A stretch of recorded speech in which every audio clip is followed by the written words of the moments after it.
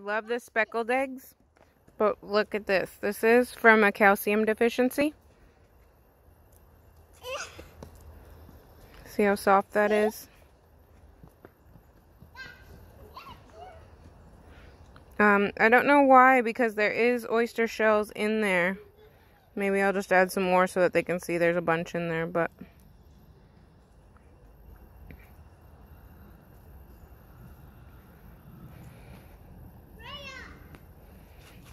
It's a very pretty egg. I wish it wasn't like that.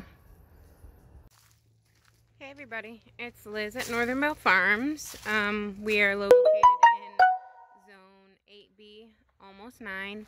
Um, oh, I got major hat hair. It's been really cold. It's been uh, frosting for like two mornings now. Um, and I feel like I haven't done a walk through the garden in forever and it's probably going to be really quick because we don't have a lot of stuff growing right now but we are growing some things and we have a bunch of trays of stuff that are sprouting up and we're going to be planting those things in a couple weeks so we're about ready to get up and going. Um, we had a seed video of things we were planning on starting last week. I started almost all my trays. I do need to get some time to start the last couple trays. I think I have five or six trays left and then we're gonna have to wait a couple weeks because I'm out of seed cell trays um, but then we'll start more in a couple weeks when those are ready. So, I also have a project of my trellis rotted from the vines being on top there. Um, so we have to chop down all of the vines. We're going to cut the plant back to the bottom, probably leave, you know, a foot of plant. Um, and then it'll send up new growth, hopefully in the spring.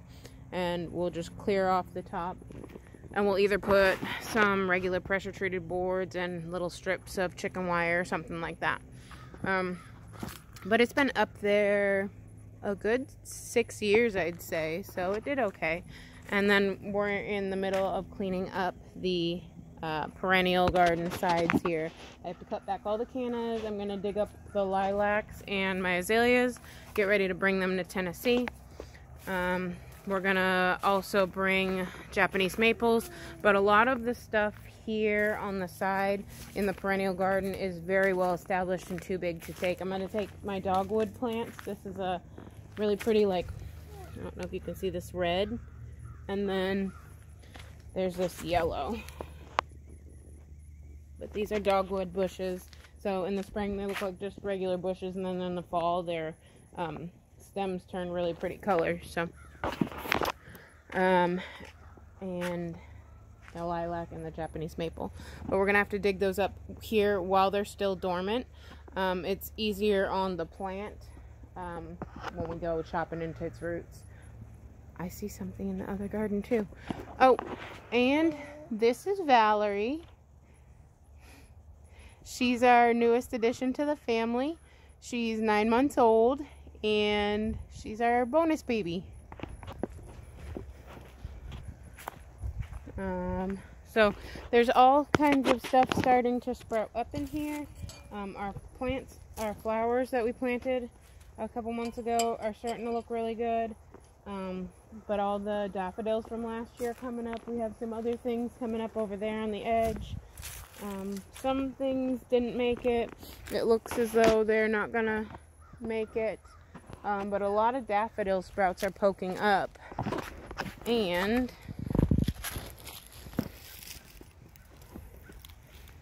Yay! Happy almost spring! Look how cute those are! Gonna have to take a picture and use that for the cover.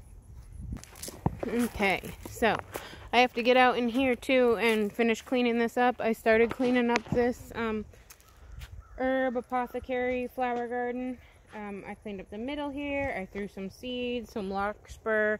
We planted some sweet peas that probably won't grow. We do it every year and they don't get but maybe like knee high, maybe a little bit taller and then they it gets too hot too quick and they die.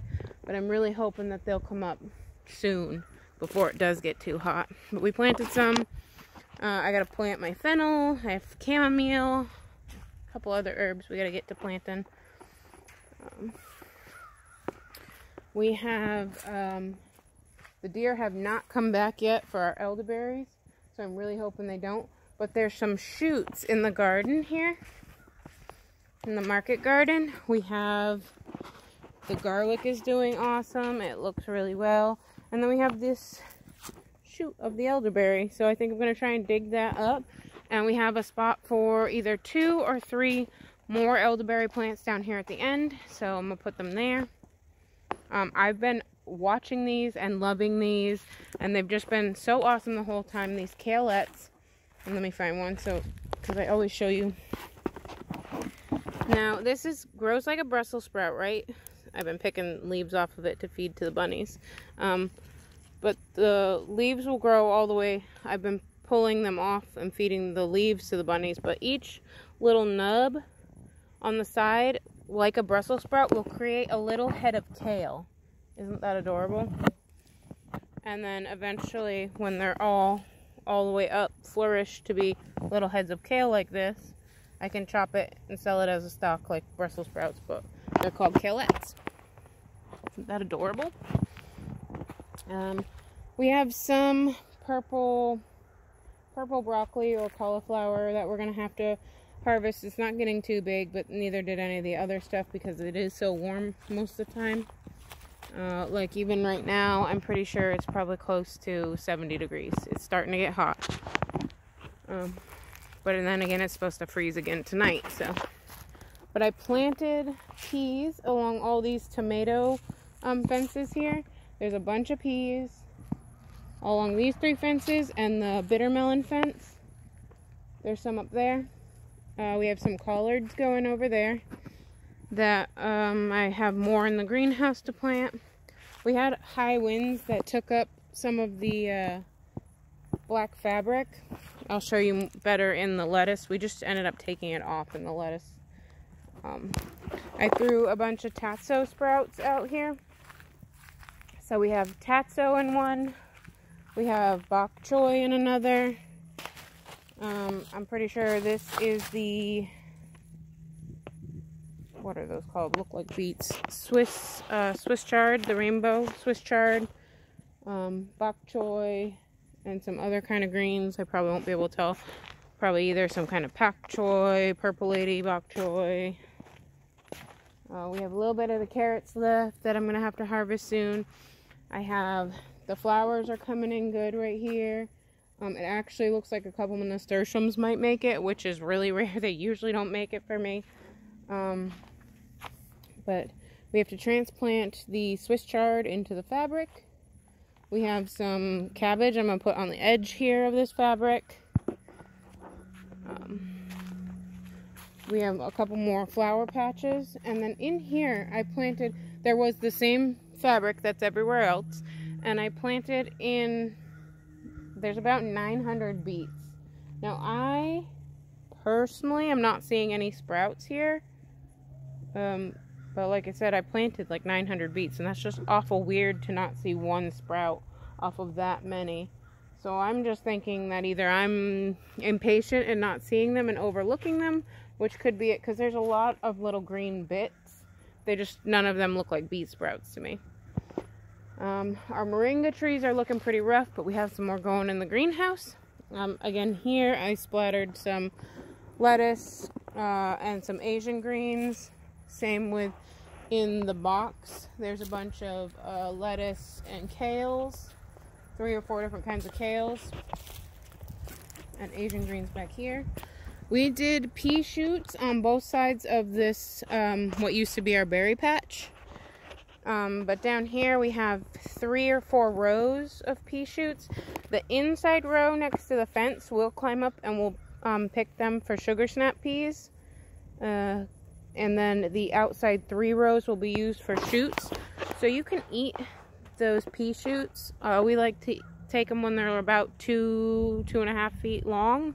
And then you can cut them up and you can put them like in stir fry or with chicken or something like that. It's really good that way. There's a sad plant here. I don't know what's up with this guy. That is weird that it's right next to this one, which looks just fine. That's really weird to me. Maybe something happened. Maybe a cat was playing and goofing and snapped it. Or, I don't know. It's weird. But these flowers are looking great. Um, here's some radishes down here. I sprinkled a bunch in there. And then we had this landscape fabric all the way around in a big horseshoe shape with one walkway all the way to the back. And the wind came and it ripped it all up. But there's so evenly spaced planted even over here. There's kale. I think there's two or three different kinds of kale. And then back here there's more tatsoi. And then we have a couple different kinds of lettuce right now. Oh, one, two, two, I think. Three. Three different kinds of lettuce. But there's a bunch in the um, seed cell trays.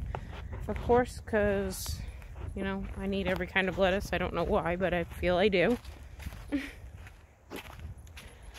it's going to be a heck of a time. I'm going to have my neighbor come over and she's going to help me transplant and probably thin because thinning is one of the hardest things for me to do. So she's going to have to help me thin that mess on the other side over there. Um, we have cardboard laying down. I need to get some cardboard on that one. They were walkways last year. This year we're going to, I'm going to get some rabbit bedding from out back. Um, I may just lightly till the top after the cardboard's been down for a while. Um, and we're gonna potatoes this year. We I ordered some potatoes from Gurney's. Um, and I've never grown potatoes before, so it's gonna be fun. I have actually a bag of potatoes that have a bunch of eyes that are really big in the back. So when I get my other potatoes, I will plant those too. I have a big long roost out uh, with the old hay that I have been cleaning out of the bunnies' pens for a couple months now piled up out back. And then I'm going to have to bring some out here and we're going to have a couple shorter beds up here of different kinds of potatoes. I'll have to show you those when I get them. Uh, but we have a couple orders coming in that I'm going to share with you. I'll share our baby chicks when we get those. You'll know.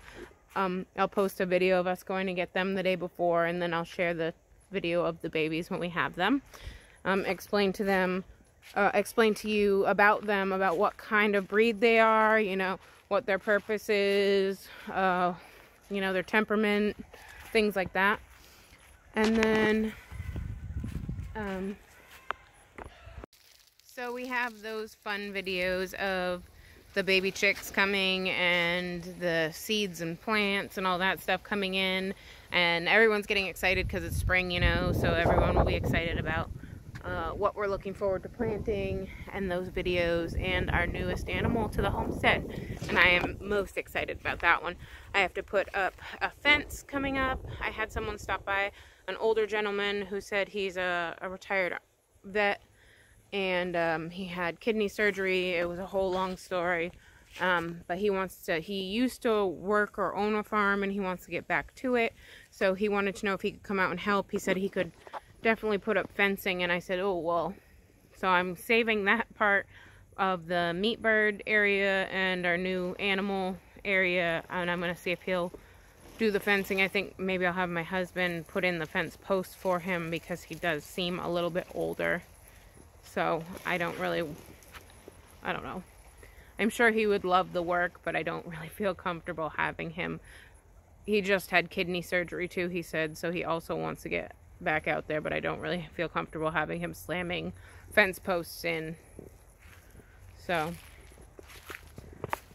but we have the dill, we have the fennel, we have some catnip. Catnip stays far out of the garden. I don't put it in the garden. Um, we have some celery, we have pansies we're going to plant in the flower apothecary. St. John's, um, this white dill uh, actually a flower. It's not an herb. Actually, the sap can irritate some people's skin. And uh, so you definitely don't want to just go into trying to eat that. Um, let's see, what else are we planting here? Leeks. Again, we're trying leeks. Nobody said anything. Hopefully, maybe that was a video that the comments were turned off on. Um, but any suggestions or any thing about leeks would be greatly appreciated. We have purple broccoli, the early sprouting broccoli, lemon balm, feverfew, calendula, yarrow, pink sage, dill, green Brussels sprouts, cauliflower, orange cauliflower, purple cauliflower. So we have a few more cold weather stuff over there. Hopefully it'll get sprouted, get going, and won't get too warm too fast. Um, we have this tray that just has a picture of a flower on it. So I've already forgotten what I've planted there, but obviously know that it's a flower. Uh, mixed marigolds, pin cushions, statice, purple stalks, snapdragons, some more white dill, straw flower. So that's all stuff. Yellow statice. That's all dahlias. Oh my god, the, almost a whole tray of dahlias is um, coming up. They really do like it cooler, so now is the time to plant if you're in zone 7. Um, I would definitely greenhouse some dahlias if you're doing them by seed. Um, and soon is the time to plant, actually in the next month or two, zone 7 or higher, is the, or lower down, is the time to plant for uh, tubers too as well, because they're a summer, summer plant, so. Um, we have cilantro and pak choi, some more lettuce, uh, moringas in there, which probably won't go now because it's too cold. Purple heart cabbage, purple statice. Uh, looks like these things need a little bit of water. We got some cumin, some mimosa trees, uh, I have some foxtail fern, little berry things that I assumed were the seeds that I collected, and I'm trying to make some foxtail fern.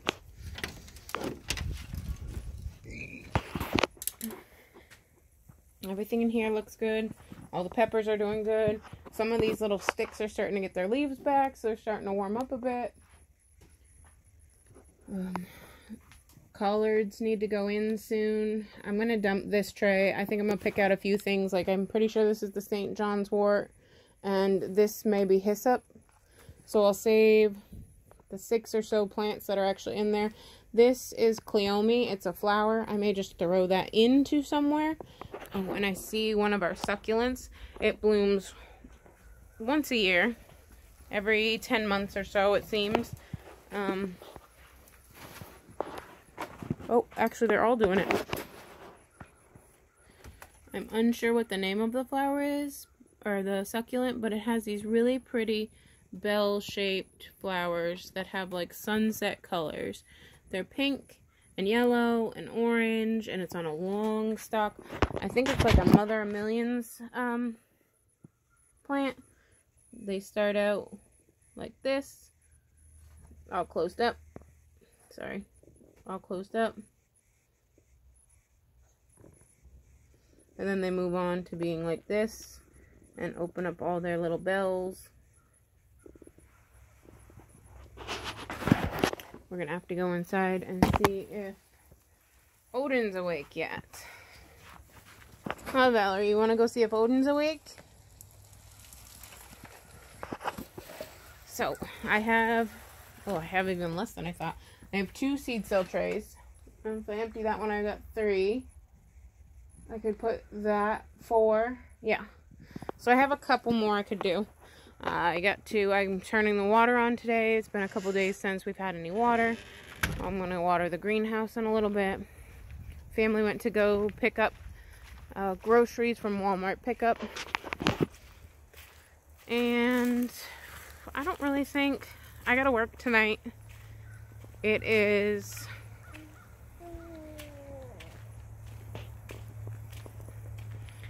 it's Saturday, so I have to work at 7 uh, till 10, and then, uh, so the kids will be here. I told them I might make them some gingerbread cookie stuff because I want to make some cutout cookies. So if I make that now, I can put it in the fridge and they can cut it out while I'm at work, or we can cut it out tomorrow in the morning. Sunday, hopefully, is our rest day. We have friends coming over and we'll get to visit with them. We've already started separating our chickens like we said we were going to do. Um, we have only two baby bunnies left, two does. I think I'm going to keep them for breeding um, for now. And then after they've bred and they have their babies, I'll keep one or two out of that. Here's our cochins. We're going to take Jungle Man and we're going to put him over in the new pen that we're building. Uh, right now.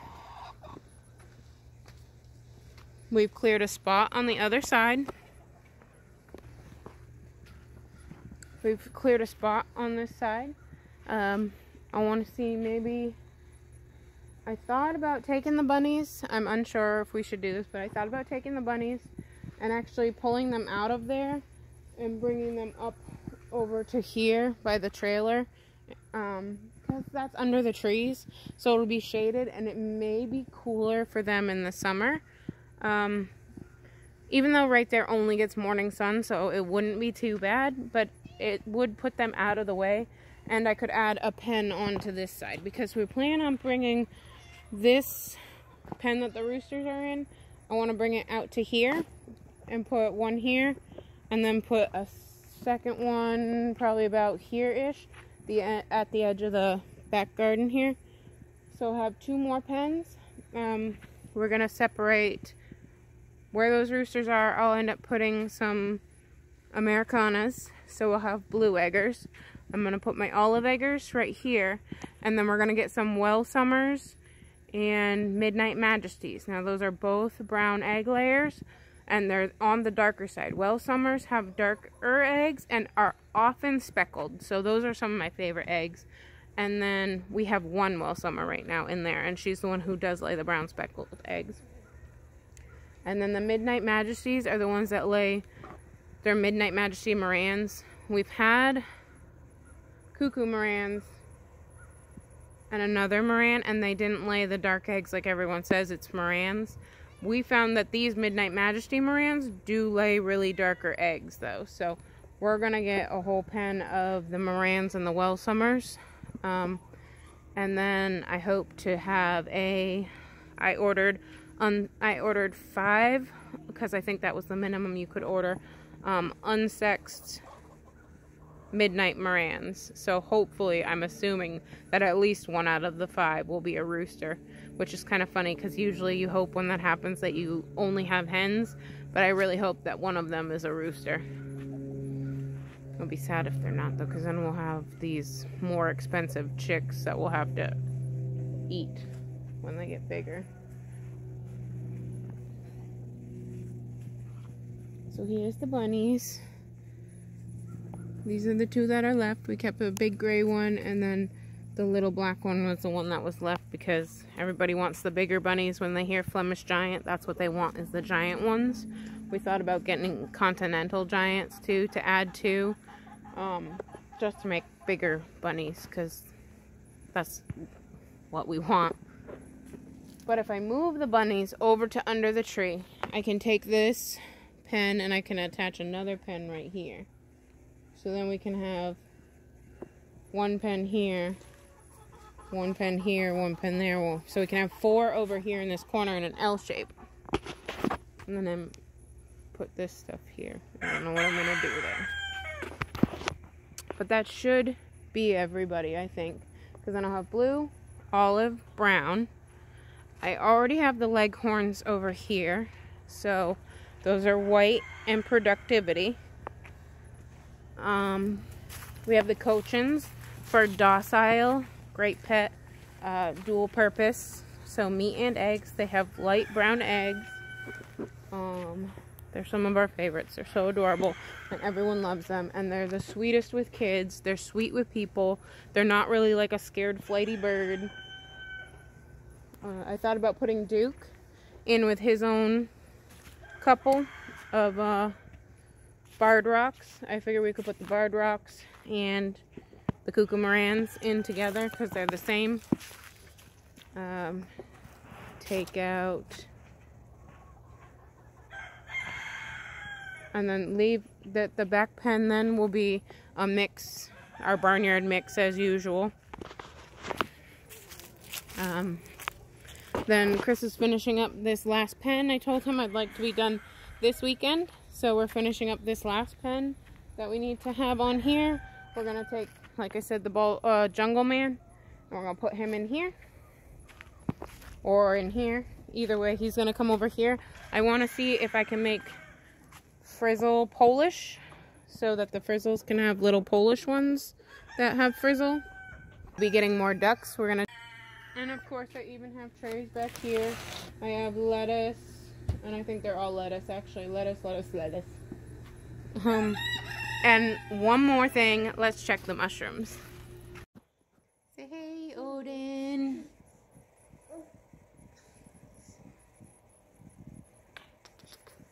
I love you, Odin. You see Valerie?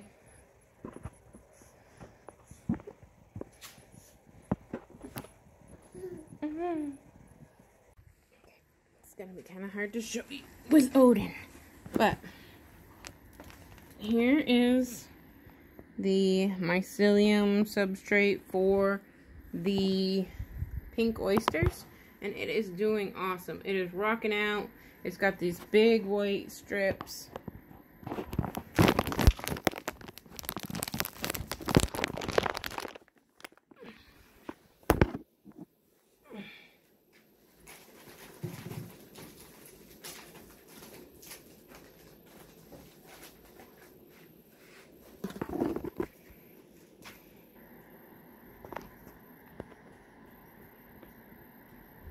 bag is probably a third of the way. This one's less. This one's mm, a fifth or a sixth. This one's probably a third.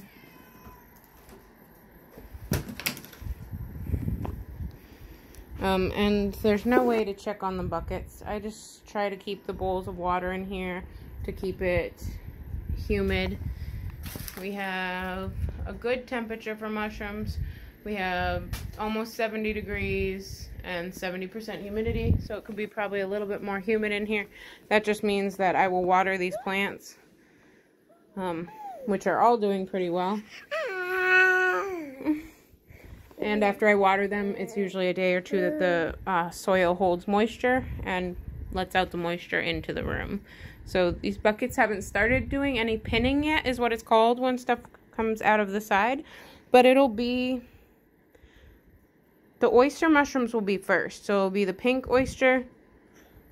So it'll be the pink oyster and the white. And then the pioppinos will come next. I plan on putting them out in the greenhouse because they are supposed to be at a little bit cooler of a temperature. So those will go to the greenhouse mm, next week. I think it's supposed to get close to freezing. So when the cold snap comes, I'm going to put some shiitakes out there and the pioppinos because shiitakes need a cold snap before they fruit. So that'll be perfect for them, even though they're going to take, take twice as long as the others. So, but I gotta go and feed these babies and then probably put Valerie down for a nap. But I just wanted to say I missed you guys, and it was nice to have my comments back on. So don't conform, people. Be transformed, and we'll see you on the next one.